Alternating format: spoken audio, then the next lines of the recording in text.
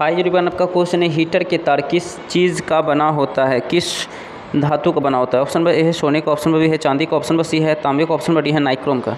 तो ये नाइक्रोम तत्व का बना होता है, option number D is correct answer. So thank you like share subscribe so thank you